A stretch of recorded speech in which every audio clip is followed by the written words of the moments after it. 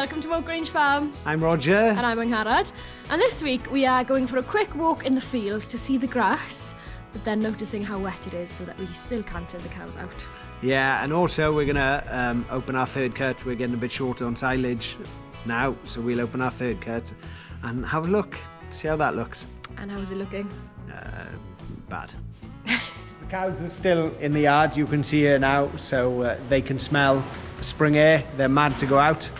Uh, every morning, the sun's out, they're standing by the gate waiting to go. Uh, but because of the field conditions, uh, they can't go out. It's a bit wet underfoot, so we're gonna have a little walk out the field now, just at the top of the shed here, where they would love to go out uh, and show you why. It doesn't look like they'll be going out for a few days.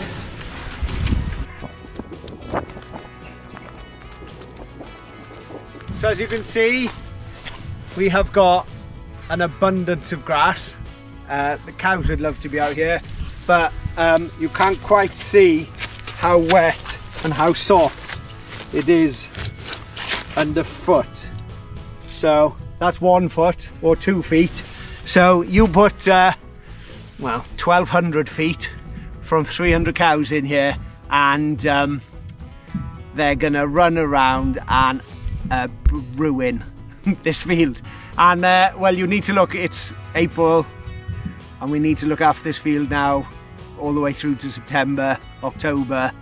So uh, yeah, you've just got to be um, a bit cautious.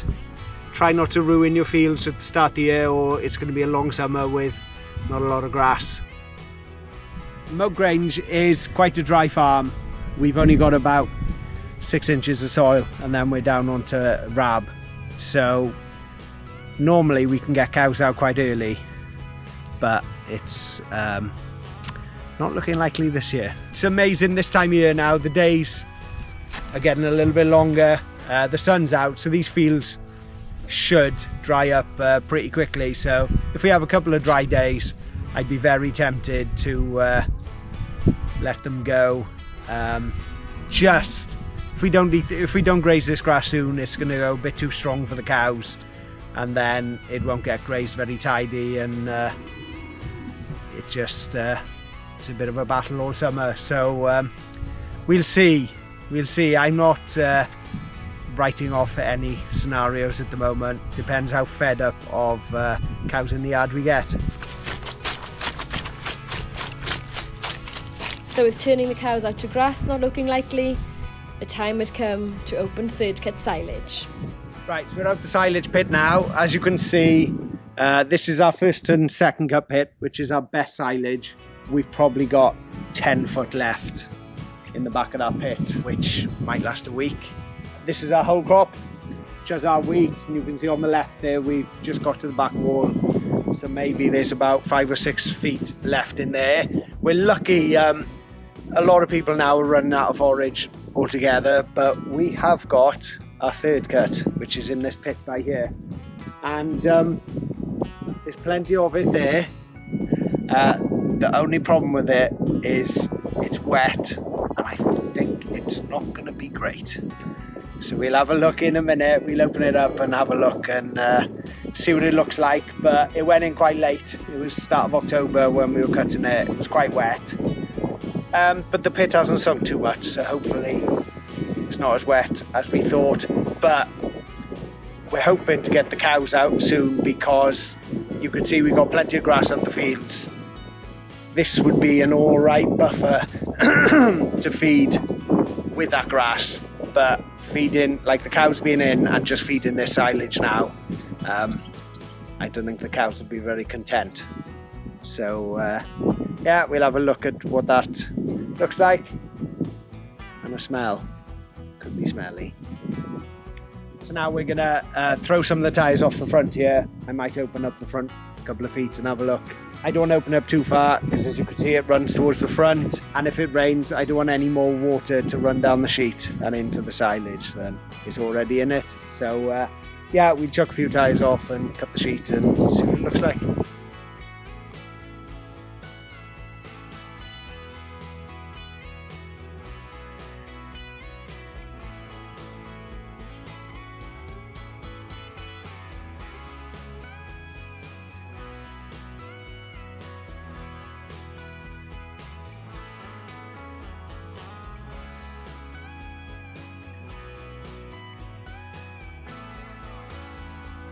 What happened to your door then? The window. Door and Fine. window. It's just very clean. You can see through it.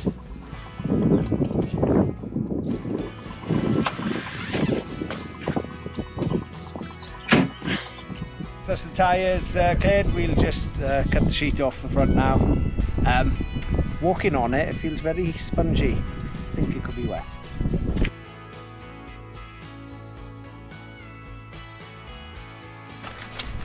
The big unveil. It, if it looks as bad as it smells, it's not going to be good.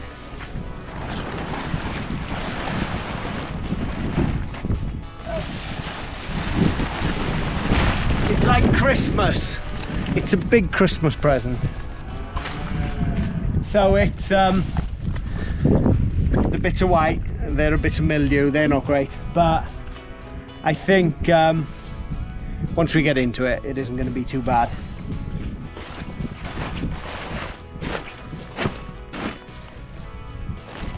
This doesn't look too bad, it's a bit heated, but uh, hopefully I'll find a nice bit.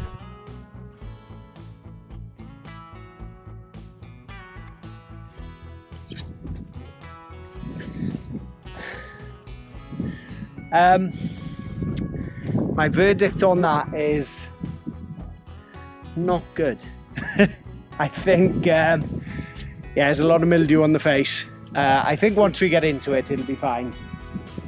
But uh, initial assessment is um, rubbish, rubbish. But that was the year we had last year. It was very wet. We had a very wet autumn. Uh, it would have been nice to cut it about a month before we did. But excuse the out of breath, I'm very unfit. Um, yeah, we just had a bad, bad from July on. It never stopped raining, uh, so it came off quite late. I didn't have a lot of hopes for it, which is why I haven't opened it till now. But I was hoping the cows would be out, a lot of the animals would be out, and maybe it would have been a bit of belly fill for uh, if we were short of grass. Whereas now it looks like it could be a big part of the ration, which uh, isn't good for the amount of milk we're going to sell in the next month. Uh, but there we are. We had good first second cut, plenty of it. Not bad, or pretty good quality. Uh, you know, as you come into the autumn, the days get shorter. Um, the grass gets a bit slushier so um, it's a struggle to make good silage but uh, we know we are lucky uh, to have this silage I know a lot of people haven't got um, any fodder at all. And they're buying fodder. So we're lucky to have it but um,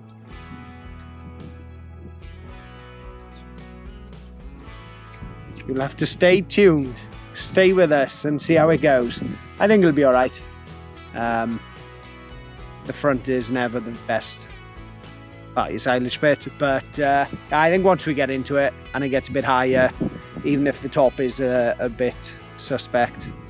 Um, from there down it shouldn't be too bad. But wet. You can't kick your fill cows up with uh, wet. They're just eating water. Whereas you want to try and get a bit more dry into them and uh, produce some milk. So we'll see how it goes. Fingers crossed. Pray for us. But of course, the rain didn't stop. Day after day, the rain kept coming, and there was no sign of turning the cows out to grass. Third cut silage came in pretty handy, but how did it pan out for the cows? So, this is the third cut that we opened last Monday. We're now Tuesday, so eight days. We're nearly um, a bay back into it, which uh, it's a five bay pit. So, with the slope running up the first bay, where I'd say we've got about five to six weeks here. If the cows aren't out in five to six weeks, uh, I think every farmer will have gone mad. So, uh, yeah, it's not the best. Uh, I could probably, this is some of it, you can squeeze it, you can see the moisture coming out of it. It, um, I wouldn't like to eat it, but uh, I'm quite surprised how content the cows are. Uh, we are mixing it. We have got some of first cut left, which we're mixing probably half and half uh, first cut and third cut for the cows. Um, yeah, we're about to run out the whole crop. So I've been mixing a fair bit of straw. The cows are probably having um, half a kilo of straw mixed in their mix every day now. Um, just to put a bit of fibre into it and uh, hopefully straw will slow it down going through the cows a bit because um, there's not much fibre in this so I think the cows could get quite loose. Um, you know, if you ate soup every day, uh, you know what your insides would be like. So um, yeah, it's a bit wet, but it's it's better than nothing. It's keeping us going, and um, uh, yeah, I'm quite surprised how happy the cows have been on it. They haven't been uh, falling too much. They seem to go and eat it. Uh, it's it's not got a bad smell on it when you feed it out to the wagon. It's uh, the mix is smelling quite nice. Um, so we're also doing uh, putting straw in for the in-calf heifers and the beef. Um, and they're quite content as well. So uh, surprised how well they're doing off what isn't the best of silage, but it's the silage we got and it's the silage we're feeding. So we're in a lot a better position than a lot of people that are buying in silage. So uh, yeah, we'll just keep going with it and keep praying for the good weather. I'm quite surprised we've had uh, from when we opened it, the front of the bed didn't look great, and I thought it wasn't um, going to be ideal. But now we've gone a bit back further onto the pit.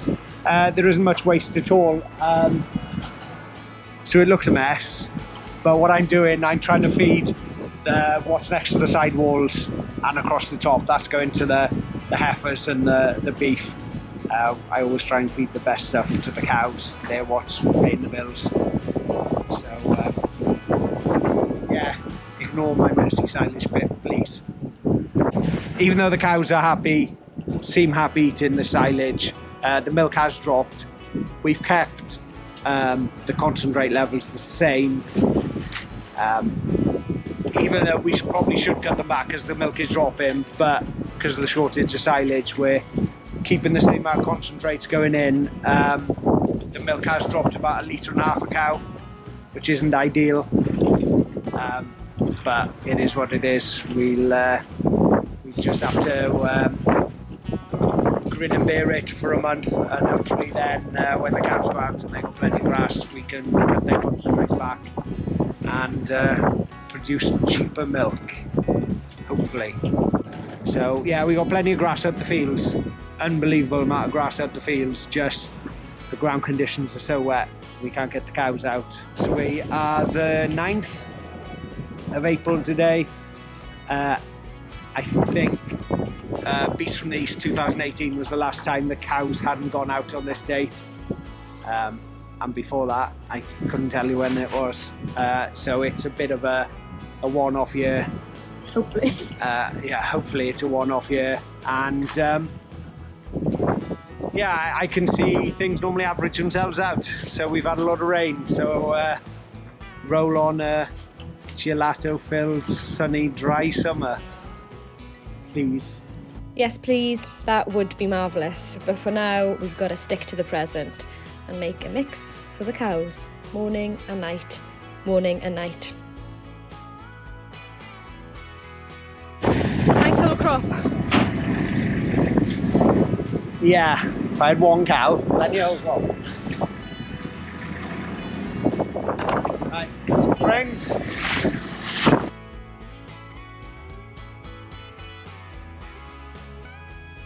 It on the knots and then Wendo can make a rope. That's friend. That's Wendo's next uh, Dragon's Den, I think.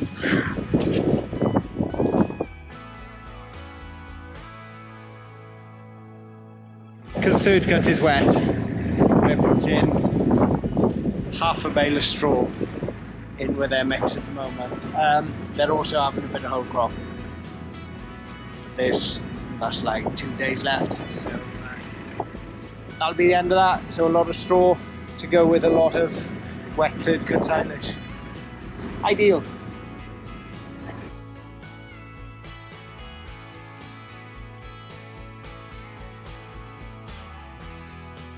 And that's the cows mix every morning and every night, still in the winter routine until they can be turned out to grass, which hopefully won't be too long.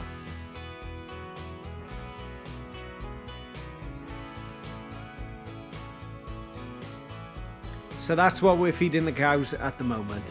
Yeah, every day, um, but every day the first get pit is getting less, whole crop's nearly finished. Yep. Um, and yeah, the third cut silage is not the best, so it's obviously not giving the cows the best nutrients. Milk is dropping every day.